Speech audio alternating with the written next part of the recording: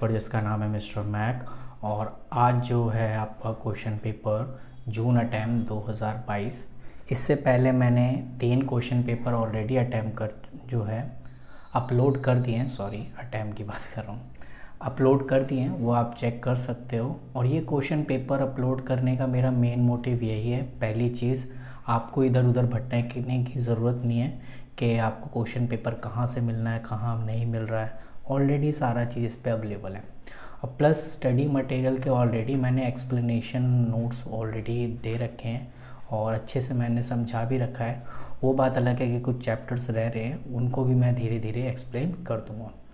तो ये जो आपके पास जो सामने स्क्रीन पे देख रहे हैं आप, ये आपका जून अटैम्प 2022 है, जिसमें कुछ क्वेश्चन जो कि कौन से चैप्टर से आपने पढ़ने चाहिए क्या ज़्यादा नुमेरिकल क्वेश्चन आए या थियोरिटिकल क्वेश्चन आए, उन सभी का जवाब आपको यहाँ पे मिल जाएगा। अगर आप पहला क्वेश्चन देखेंगे तो कह रहा है accounting define describe the qualitative character ये कहीं ना कहीं आपका पहली बुक जिसे हम ब्लॉक वन कहते हैं, उसमें से आया हुआ क्वेश्चन है, जो कि दस मार्क्स का फिर कह रहा है डिस्टिंग्विश इंडियन अकाउंटिंग स्टैंडर्ड ये भी आपका ब्लॉक वन में से क्वेश्चन है चैप्टर आपका एक से लेकर चार तक के बीच में।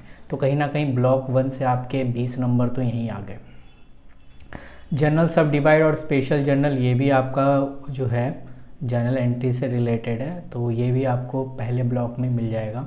आप चेक करिएगा। तो ये डेप्रिशिएशन का क्वेश्चन है और थियोरेटिकल क्वेश्चन है तो आप इसे भी नोट कर लीजिए, इसका स्क्रीनशॉट ले लीजिए आप।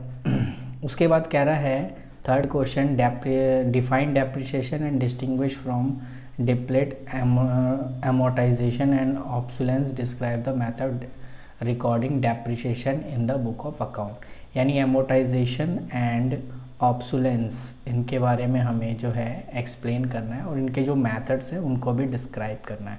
तो कहीं ना कहीं दो छः और बारह। लास्ट में जो बारह नंबर है, वो डिस्क्राइब करने के लिए बोल रहे हैं मेथड्स के बारे में। क्वेश्चन फोर में जो है आपका, कह रहा है what is the mean by balance sheet and give the format the vertical presentation of the final account यानी कि कहने का मतलब कह रहा है बैलेंस शीट क्या है आपका? और इसकी जो वर्टिकली प्रजेंटेशन है, पहले आपका ओरिजेंटल टाइप का होता था और अब आपको वर्टिकली रिप्रेजेंट करना है। तो वर्टिकली और फाइनेंशियल अकाउंट्स का आपने फॉर्मेट लिखना है उसमें। और प्लस अगर चाहो तो एक्सप्लेन कर सकते हो। अगर आप नहीं करना चाहते हो तो आप जो है उसको सिर्फ़ फॉर्मेट भी लिख दोगे तो भी काम चल जाएगा। उसके बाद कह रहा है find out the cost of goods sold from the following information यानी आपको सी ओ जी एस निकालना है कॉस्ट ऑफ़ गुड्स सोल्ड और कॉस्ट ऑफ़ गुड्स सोल्ड का ऐसे फार्मूला होता है opening stock plus purchase plus direct expense minus closing stock एक बार दोबारा मैं बोल रहा हूँ what opening stock plus purchase और प्लस डायरेक्ट एक्सपेंस परचेज में डायरेक्ट एक्सपेंस प्लस कर देना और माइनस करना है क्लोजिंग स्टॉक तो आपका डायरेक्ट आंसर निकल के आ जाएगा छः नंबर फ्री फंड के आपके। क्वेश्चन फाइव कह रहा है what you mean by joint venture explain the silent feature of joint venture joint venture क्या होता है और इसके साइलेंट फीचर आपने बताने हैं। Distinguish between the following joint venture and consignment and joint venture and partnership इन दोनों में आपने डिस्टिंग्विश लिखने हैं और दोनों आपके पाँच पाँच नंबर, यानी पहला भी पाँच नंबर का है और दूसरा भी पाँच नंबर का है। तो कहीं ना कहीं आपको जो है पाँच पॉइंट्स में आपने डिफरेंस लिखने हैं। सिक्स क्वेश्चन आपका जो है what do mean by invoice pricing अब आपको पाँच करने हैं तो आप अपने इनमें से कोई भी पाँच क्वेश्चन चेक कर सकते हैं। तो क्वेश्चन सिक्स का भी आप स्क्रीनशॉट ले लीजिए और क्वेश्चन सेवन भी आप देखेंगे। What the main object maintain the branch account explain how the branch stock account help the keeping effective control over the branch stock कहीं ना कहीं थ्योरेटिकल बहुत ज़्यादा क्वेश्चन पूछ रहा है, ये न्यूमेरिकल का चैप्टर है, लेकिन कहीं ना कहीं इसके थ्योरेटिकल पूछे गए हैं।